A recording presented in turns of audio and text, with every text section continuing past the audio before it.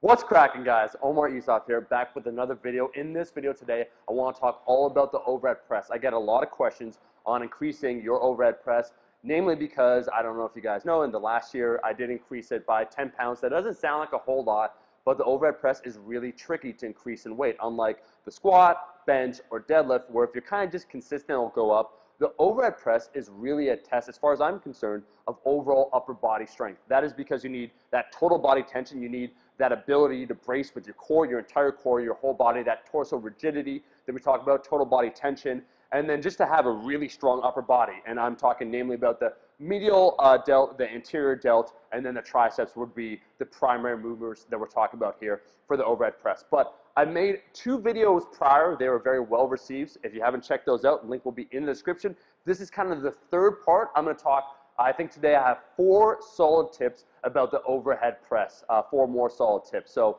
first, what I want to say when I observe a lot of individuals doing the overhead press, it would be that they grip it too wide. And here's what I mean. It's not like the bench press. Like if you notice my bench press, I grip relatively wide, right? That's because I'm more pec dominant. And I've heard some people say that the grip on the overhead press should be the exact same as the grip on the bench press. And this is just flat out wrong. Here's why. It kind of has to do with stacking when it comes to the overhead press. I'm going to talk about the role of the lats in a second and just overall your erectors, thoracic extension, and how you just line everything up so you have a strong, stable base, a shelf to press off of, which is really important.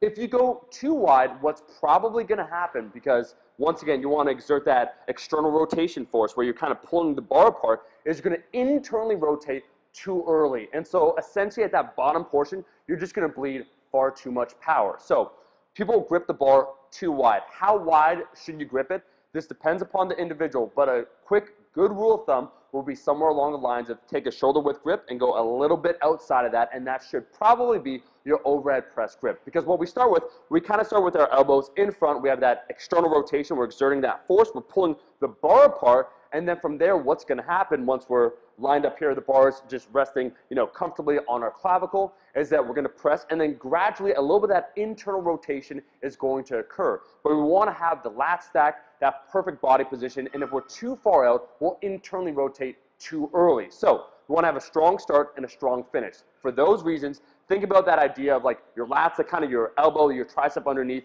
It's resting where you feel your lat when you flare, and kind of that serratus anterior is that good sweet spot that you want to have. So the first tip I would say is a lot of people grip it too wide, just outside of shoulder width. The second thing that I want to talk about is once again the role of your lats. When you're doing an overhead press, unlike the bench press, the bench is assisting you. You're pressing off of it. You got nothing on the overhead press. You got nothing.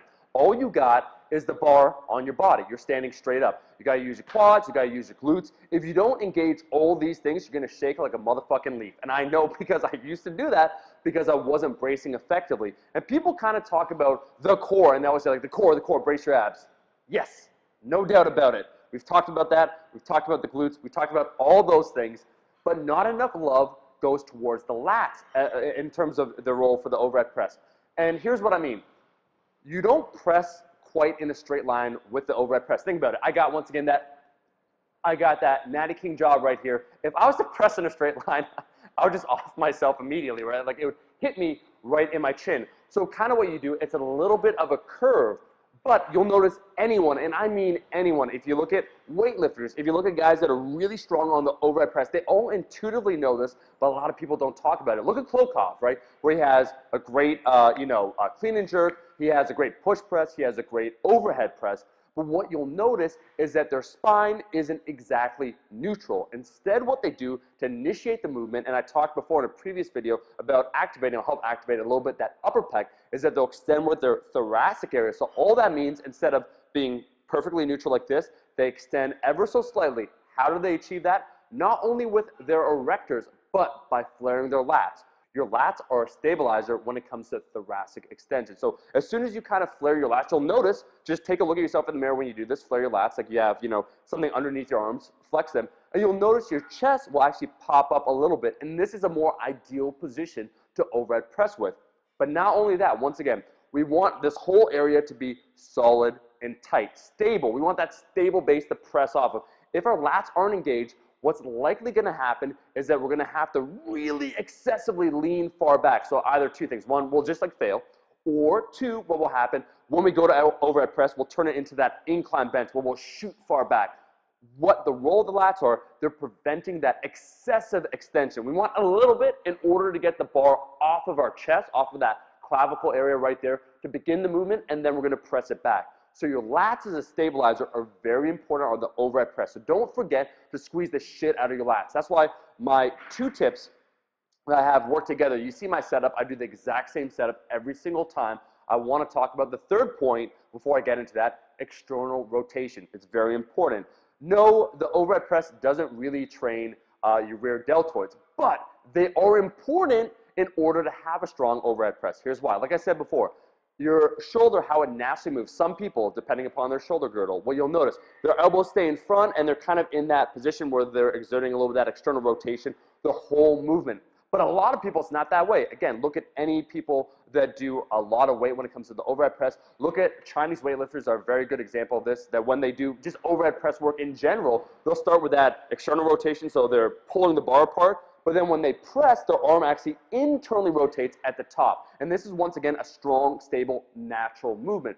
But in order to get the bar moving initially, exerting that external rotation force so you can blast up, keep the elbows tucked, activate the triceps is very important. So you should be training your external rotators. Hello face pull. The face pulls are a phenomenal movement. I've talked about them before. I'll link in the description a tutorial on face pulls, how to do them effectively. But just think about it. You do a whole lot of pressing. You're training your anterior delt, uh, your side delt. They get a lot of love. You got to make sure your rear delt gets the same amount of attention. So make sure, if you're wondering why, when you first lift on the overhead press and kind of your elbows just go whoop like that. They just flare out like that. You get that chicken wing action going on.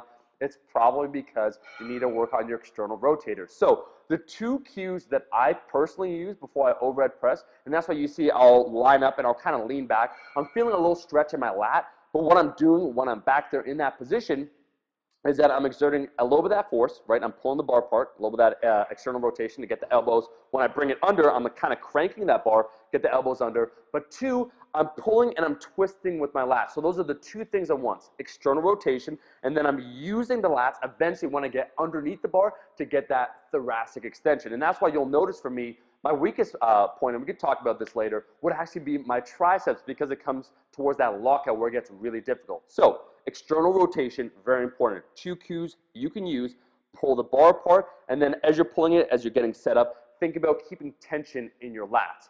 Last point I want to talk about is that the overhead press, much like the deadlift, starts from a dead stop, and that is a unique portion of this movement. Think about the bench press. You unrack it, you have an eccentric, and then you have a concentric portion, so then you lift it back up. The overhead press is different. You unrack it, and right from the get-go, it's the hardest portion. So, much like I'd say the deadlift, you have to be incredibly aggressive with it. It starts from zero uh, acceleration. There's no velocity on the bar. You have to put a lot of force into that initial movement. And that's why kind of all these tips throughout these three parts are really about getting that strong start and then that strong finish. What you need to do when you finally decide to do the overhead press, you got all these cues, you're like, I'm to externally rotate, I'm to do all these things. Once you unrack it, I see a lot of people that kind of wait, they're thinking about a lot of things, they're contemplating their existence. You got to be ferocious when you do the overhead press. So you unrack it, and then immediately, I personally would say, after you feel comfortable, stable, strong, you're braced, everything feels good, you blast it, you explode up as fast and as hard as possible. It's even more important, like on the squat, I know some people, I'm one of them, you need to kind of work on that stability. You got to feel the weight out. On the overhead press, you need to attack it. So that's my final point, that once you're all set up, once you got all these cues, you have to be incredibly aggressive. Guys, I've talked a whole lot about the overhead press. That's because I care a lot about it. I said that before. I want for this year is a huge goal, but damn it, why not? I want to overhead press 110 kilos, 242 pounds. It's going to happen. This is the end of the video. Thank you so much for watching this video. If you liked the video, make sure to like the damn video. And I'll tell you something. I actually have even more tips. Like I want to talk about accessory movements and a whole slew of other things. There's probably would be two more parts, so part four and five. If you want to see this happen, make sure once again to like this video, get it to 4,000 likes, hashtag down below, hashtag over at press. Else told me actually instead, my cameraman, it's better 5,000. 5,000 likes, you heard it. No, not 5,000. 10,000. That's not going to happen, bro. I, not that I don't believe you guys, but 10,000 is a lot of likes. 5,000 likes.